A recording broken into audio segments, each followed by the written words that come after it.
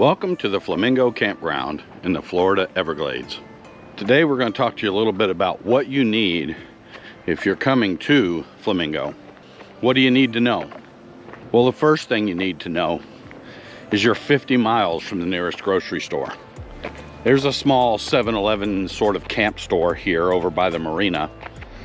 But other than that, there's nothing. And when I say 50 miles, it's 50 miles. So you want to make sure you pack in anything you're going to need for your stay. We're here for six days, so not a super long time. And our refrigerator was so full, it didn't hardly want to cool down. We're, we're surviving that. It's doing pretty good.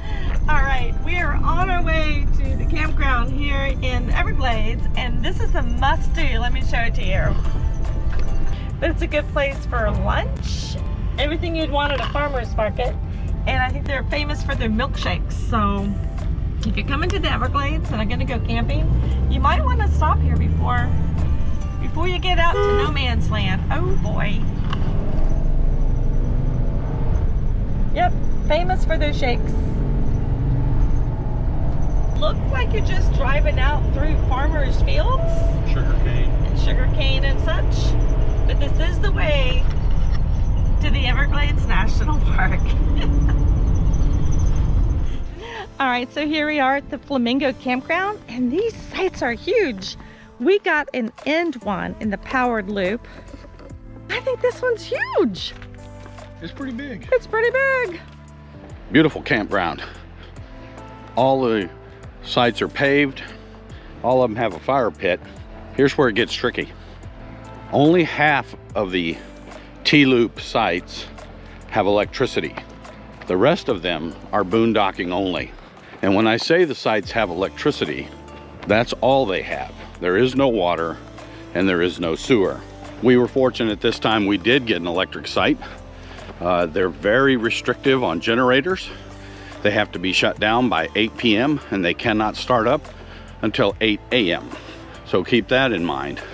And they do enforce that. Uh, if you're planning on using one of the non-powered sites, just keep that in mind. It can put a pretty strong drain on your batteries running fans and things like that. Kind of see behind me here, the campground. These are boondocking sites. There's plenty of them and there's plenty of availability.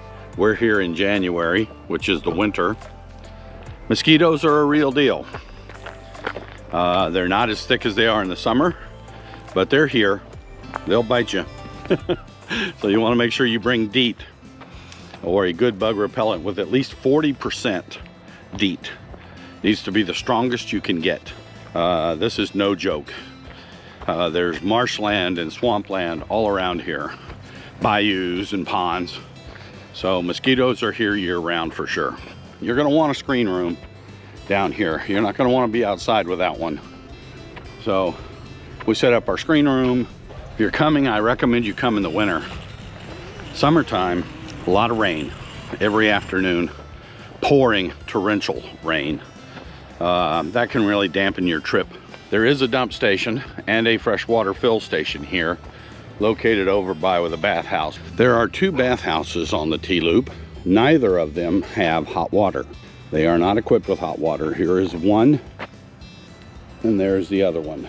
Trash is provided at the bathhouses. While the T-Loop doesn't have hot water, the A-Loop, which actually is tent only, but so close to the T-Loop, the A-Loop has hot water. They have solar, so the water here in the shower is hot.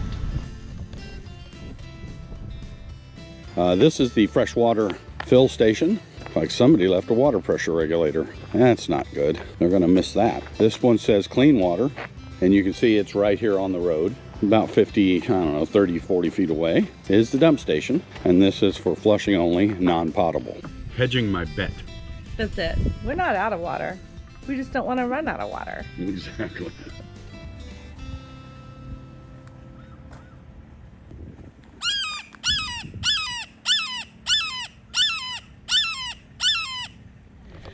All right, so there's another pretty good hike really close to the campground. It is Echo Pond.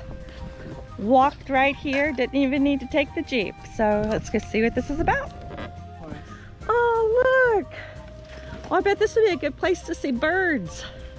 Oh, it says that there's alligators back here and all sorts of birds to look for. Look at this, there's a bench. Oh, what a view.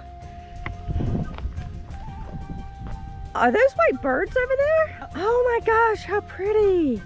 That is pretty. Oh, and they're in the in the trees over there too. Oh, wow. If you come here, if you come to the campground and you just want to do an easy, easy trail, even though you're in the Everglades, take a look at this one. It's completely done. Yeah, this is the one you want to do. It's a bit mosquito-y, so come prepared, but this is a really good trail. All right, you're coming to Flamingo Campground. Remember, this is a national park. And while there is a concessionaire that handles the boat ramp, the marina, and some tours, there's also the National Park Service. They have the visitor center here and the one at the front of the park. Right here at Flamingo, the National Park Service, they have a lot to offer. They actually have guided tours and these ranger rangers here are so knowledgeable. So don't forget that. This is actually a historic building destroyed by various hurricanes, most recently Hurricane Irma, but it's almost finished being reconstructed. The National Park Service Visitor Center is going to be located on the second floor mostly, with some of the exhibits on the first floor that will be able to withstand any future floods. They really put a lot of thought into it, and it'll be really exciting when they actually get to open back up. And flamingos, you want to prepare to do something. Today, we're looking forward to actually taking the boat tour. You can just sit at the campground and just enjoy the quiet solitude and maybe take a few walks and do some bird watching, but there's some other things to do here. The Flamingos is about the water, the water in the backcountry, the water out in the Florida Straits here. So today we are going to take a boat ride.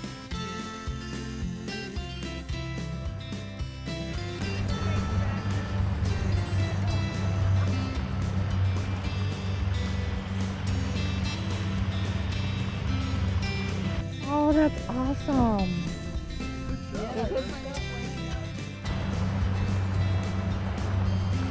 We actually saw the crocodile. And there's a difference between a crocodile and an alligator. Now there's a Florida crocodile. There he is. Teeth and everything. Uh-oh.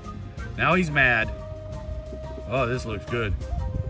He's like, come on, I'll get in the boat with you.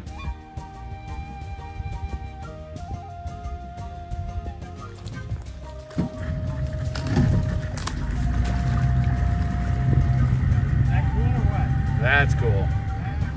Yeah, another big boy. Look at that. Yes, he is as big as he looks. These are the first Florida crocodiles I've ever seen. I've seen alligators, but not crocs. This one actually looks like a gator. I gotta see his nose. No, he's a croc. He's got a point. He's got a pointed nose. Where'd he go? There he is.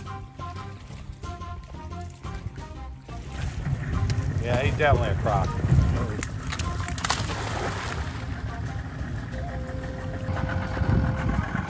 Whoa! Okay, got some of that.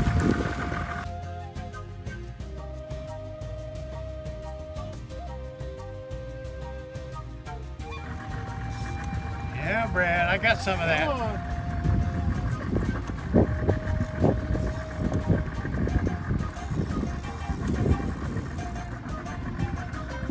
Yeah, that's what they do. They just dog you.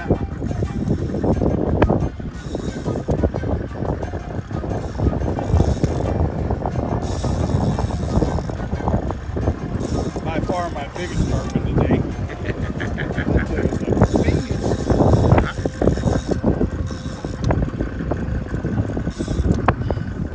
So we have a real treat this morning. We're actually going to have a church service right on the water.